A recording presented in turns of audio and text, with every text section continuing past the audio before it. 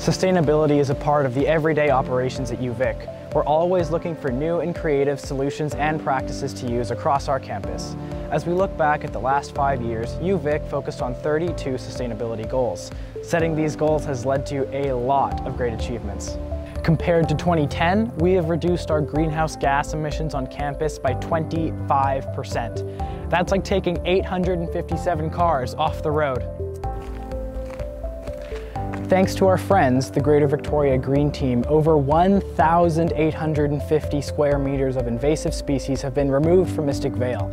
That's like weeding the area of one and a half ice hockey rinks, the NHL-sized ones.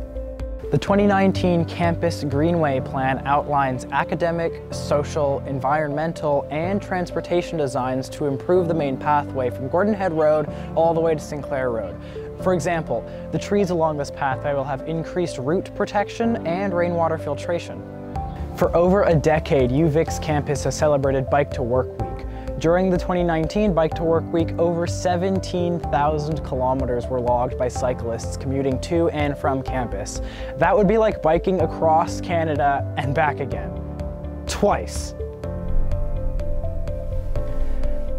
UVic uses a variety of vehicles on campus for daily operations. We now have 14 Nissan Leafs in the fleet, which has helped us reduce our fuel consumption by 10% compared to 2014.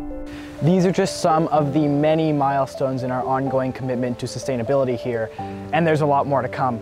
Learn more online about UVic Sustainability in Action and how you can get involved.